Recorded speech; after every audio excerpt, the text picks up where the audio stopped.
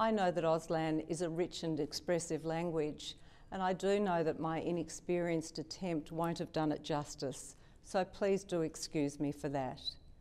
I know too that it provides an essential source of emergency information for our deaf Victorians, as we've seen so clearly this year in the course of the summer bushfires and the global pandemic.